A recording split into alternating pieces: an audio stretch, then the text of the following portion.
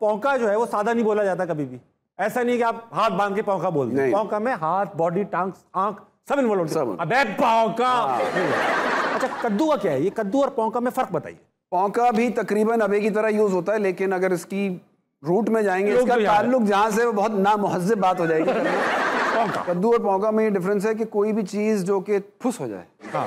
वो सिचुएशन कद्दू है। पौका थोड़ी खड़ी खड़ी कड़क सिचुएशन लिखते रहो बेटा लिखते नोट